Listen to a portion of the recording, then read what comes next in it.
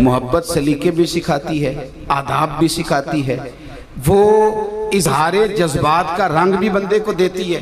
अपनी तबीयत बनाए आपका जौक हो हुजूर की औलाद से मोहब्बत का। आपका तज, कुछ भी नहीं बिगड़ता यारो कुछ भी नहीं बिगड़ता।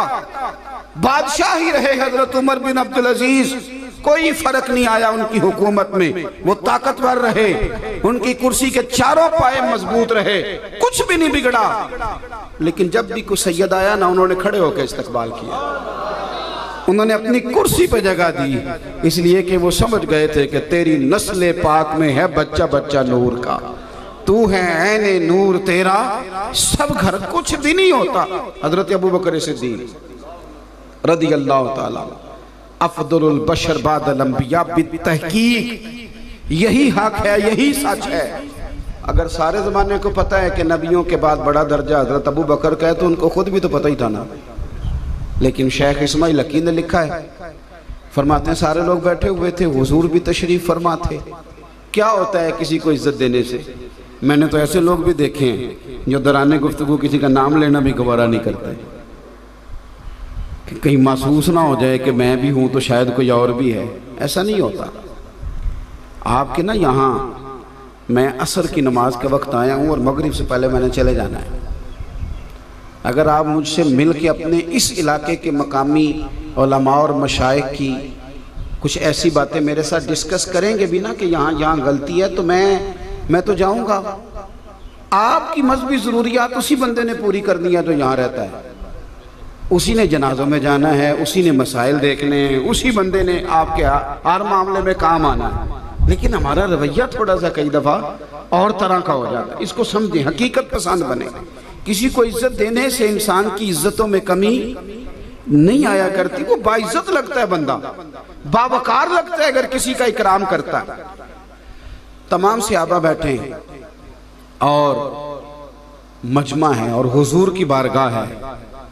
हज़रत सिद्दीक अकबर पहलू में बैठे उनका नसीब ये है, वो रहे ही पहलू में है सारी ज़िंदगी। वो रहे ही पहलू में है। क्या मुकद्दर है सिद्दीक फारूक के, जिनके घर रहमतों के खजीने में। बस नसीब होता है, वो रहे ही सारी ज़िंदगी पहलू में। पहलू में बैठे थे।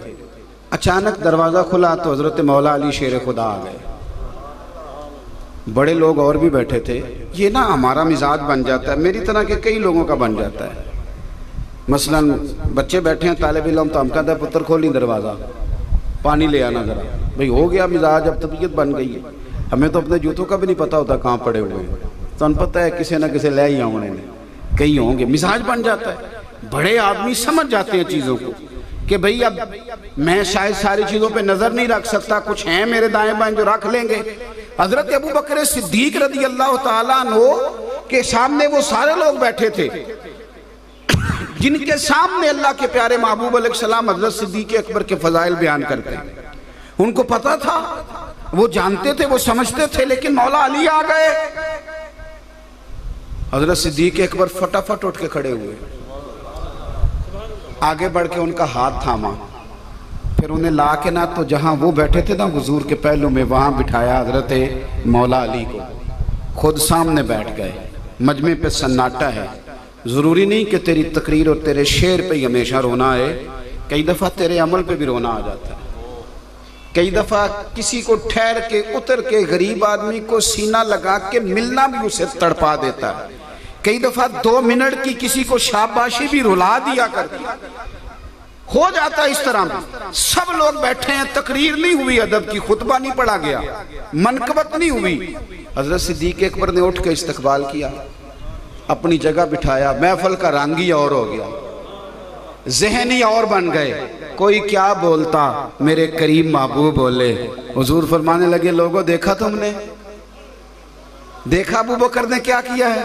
हुजूर फरमाने लगे, लोगों, कदर वाले ही किसी की कदर को पहचाना करते हैं। इज़्ज़त वाला ही किसी को इज़्ज़त दिया करता है। जो काबिल एहतराम हो, वही इज्जतें पहचाना करते हैं। एक तो आप मेहरबानी, मैं सारा मुहर्रम मैंने लोगों से कहा है कि अच्छे शागिर उस्तादों की डिग्रियाँ नहीं चेक करते। उस्ताद डिग्रियाँ चेक करते हैं शागिर्दों की। शागिर्द उस्तादों की डिग्रियाँ चेक। स्टूडेंट बैठे थे ना तो उस्ताद आ गया इंग्लिश का, अरबी का, इस्लामियात का, उर्दू का, उसने आके कहा, किताबें निकाल लो फ़र्स्ट ईयर के स्टूडेंट को। सबने निकाल ली। एक बोल पड़ा, कहने लगा, उस्ताद साहब, पहले बताएँ, आपने एम ए किया?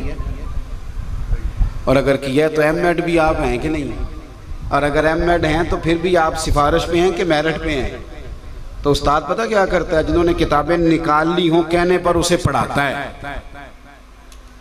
और जो सवाल जवाब करे ना, पूछे डिग्री का, उसको कहता तू निकलना कमरे से बाहर।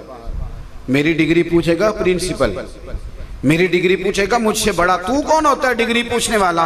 ओ खुदा के बंदे, हमें तो ये कहा गया था कि कुरान पाक को और अहले बैत को थाम के रखना, गुमराही करीब नहीं आएगी। हमें तो ये कहा गया था कि सियाबा सितारे हैं, जिसके पीछे चलोगे अल्लाह हिदायत अता करेगा। हमने उनसे हिदायत लेनी थी कि उनके मुशाजरात में कलाम करना था। हमने तो उनसे फैज लेना था। हमारा क्या काम है कि हम जाके घूमते फिरे उन चक्रों में जो हमारे हैं ही नहीं? वो मामला जो उनके दरमियान है, वो अल्लाह जाने और वो जाने। आप फैज लें, आप उनसे सीखें, आप उनसे तरबियत लें। लोग उनको देख के अदब सीखते थे।